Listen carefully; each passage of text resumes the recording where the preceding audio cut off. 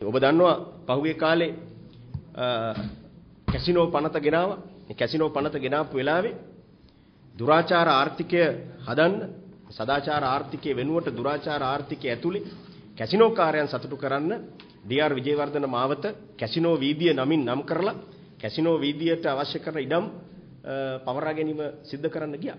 ඉතින් පහුගිය දවස්වල අමාත්‍ය මණ්ඩලයේ කැබිනට් මණ්ඩලයේ කැබිනට් සංදේශයක් ඉදිරිපත් කළා තියෙනවා. මේ කැබිනට් සංදේශය ඉතා පැහැදිලිව තියෙනවා. Colombo D R. විජේවර්ධන මාවතට යාබද ඉඩම් සංචාරක කර්මාන්ත කටයුතු සඳහා පවරා ගැනීම. එතකොට මේ මොකද්ද මේ කරන්නේ? ඩී.ආර්. විජේවර්ධන මාවතේ තියෙන මේ තියෙන සැලැස්ම මේ කැබිනට් පත්‍රිකාවේ මේ ඩී.ආර්. විජේවර්ධන මාවතේ සැලැස්ම ඉදිරිපත් කළා තියෙනවා. මේ ආශ්‍රිතව තියෙන සියලු රජයේ ගොඩනැගිලි රජයේ සහ පෞද්ගලික ගොඩනැගිලි. ඒකට තැපැල් දෙපාර්තමේන්තුව, දුම්රිය දෙපාර්තමේන්තුවේ ඊළඟට වරායමත් වරායමත්යන්සට අයිති ගොඩනැගිලි වරාය අධිකාරීට අයිති ගොඩනැගිලි. ඒතර ඔබ දන්නවා ඩී.ආර්. විජේවර්ධන මාවතේ තමයි ඒ තැපැල් දෙපාර්තමේන්තුවේ ප්‍රධාන ගොඩනැගිලි තියෙන්නේ. ඒ සියල්ල පවරා ගැනීම සඳහා වෙච්ච කැබිනට් මණ්ඩල පත්‍රිකාව දැන් කැබිනට් මණ්ඩලයට ඉදිරිපත් කරලා තියෙනවා. මේ කැබිනට් පත්‍රිකාව අත්සන් කරලා තියෙන්නේ රාජ්‍ය ආරක්ෂක අමාත්‍යාංශයේ මහින්ද රාජපක්ෂ ජනාධිපතිවරයා.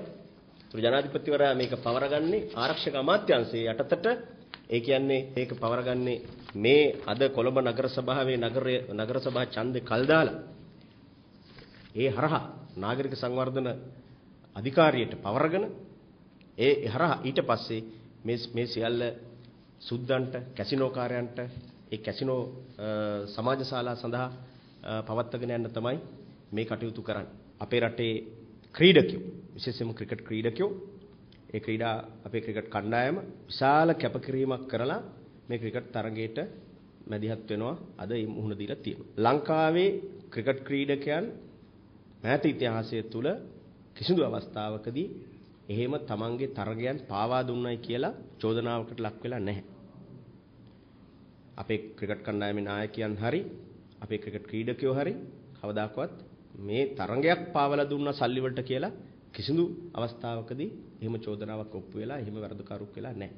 කිසිදු සාක්ෂියක් ඒ පිළිබඳ කිසිදු තොරතුරක් නැතුව ඊටාම නිර්ලජ්ජිත විදිහට පහුගිය ශ්‍රී ලංකා පාකිස්තාන් ක්‍රිකට් තරගයේදී පාකිස්තානයේ ජයග්‍රහණය කිරීම ආණ්ඩුවට දරා ගන්න බැරුව මේ ආණ්ඩුවේ නායකයාට ඒක දරා ගන්න බැරි නිසා එතුමාගේ උපදේශක වෙන කවුරුවත් නෙමෙයි. ස්වාධීන රූපවාහිනියේ මහින්ද අබේසුන්දර මහත්තයා ජනාධිපති උපදේශක. ජනාධිපති උපදේශකවරයා තමයි මේ කරේ. ඉතින් ජනාධිපති උපදේශකවරයෙක් නිකන් ආවට ගියාට Tamanට හිතන දේවල් කරන්නේ නැහැ. ඉතා පැහැදිලි ආණ්ඩුවේ නායකයා වෙනුවෙන් තමයි ඒ බංකොලොත් ප්‍රකාශයේ වැඩසටහන කරේ. ඉතින් ඔහු මොකද්ද කිව්වේ? මහේන ජයවර්ධන සහ තිලාන් සමරවීර මේ මැච් එක එහෙම නැත්නම් මේ ගේම් එක චේන්ජ් කරා කියලා කිව්වා. මේ ගේම් එක චේන්ජ් කරලා තියෙනවා සල්ලි වලට කියනවා. කොයිතරම් පරපතල ප්‍රකාශයක්ද?